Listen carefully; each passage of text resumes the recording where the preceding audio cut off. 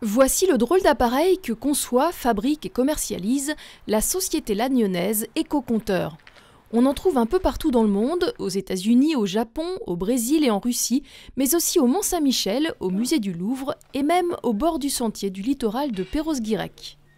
Une piste cyclable, euh, un trottoir ou une rue piétonne, c'est fait pour faire passer des gens. Et se dire qu'on fait passer des gens, qu'on construit des infrastructures qui coûtent très cher pour ça et qu'on n'a aucune idée de combien de personnes passent dessus, quand on est dans ce métier, euh, ça paraît juste inconcevable. Donc on, fournit la donnée de base pour laquelle euh, ces infrastructures sont conçues, c'est-à-dire combien de personnes fréquentent une piste cyclable ou une rue piétonne. La société Éco-Compteur a été créée en 2004.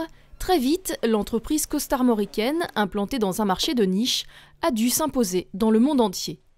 Dans un monde très international, euh, les marchés de niche deviennent des vrais marchés. C'est-à-dire que ce marché en France, euh, il n'est pas très intéressant. Ce marché dans 42 pays, il devient très très intéressant euh, parce qu'il y a des, collectivités à l'autre bout de la planète qui ont exactement le même besoin que le sentier littoral de Perros-Guirec et avoir un produit de bon niveau avec une électronique de bon niveau, avec des, des logiciels performants, tout d'un coup ça les intéresse énormément euh, pour peu qu'on arrive à leur montrer ce qu'on est capable de faire.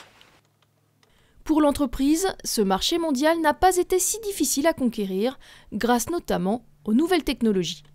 Nos clients contribuent à nous faire connaître, y compris à l'international.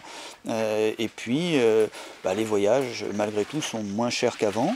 Euh, il y a des conférences internationales où il y a beaucoup de pays qui sont présents. Donc, c'est devenu relativement facile de rencontrer beaucoup de gens de, beaucoup de pays différents. Je crois que c'est beaucoup plus facile qu'hier d'aller dans ce village global pour vendre un produit innovant. L'entreprise aime les challenges. En 2006, pour gagner des marchés en Amérique du Nord, elle fait appel à un jeune Québécois fraîchement diplômé. On a été recruter quelqu'un, euh, un, jeune étudiant euh, à la sortie d'HEC Montréal, et on lui a dit, bah, écoute, est-ce que ça t'intéresse de venir travailler en France, de développer l'international et notamment l'Amérique du Nord? Et puis, euh, bah, le, jour où, ça marche, tu rentres chez toi et puis tu, diriges une filiale pour piloter nos activités en Amérique du Nord. Alors, vu d'aujourd'hui, je me dis que c'était un pari absolument incroyable parce qu'il y avait plein de choses qui auraient pu ne pas fonctionner entre temps, il aurait pu ne pas rester avec nous, etc. Euh, et aujourd'hui, en fait, c'est vraiment un des piliers de l'entreprise et euh, le marché de l'Amérique du Nord sera euh, en 2014 ou en 2015 le, premier de tous nos marchés.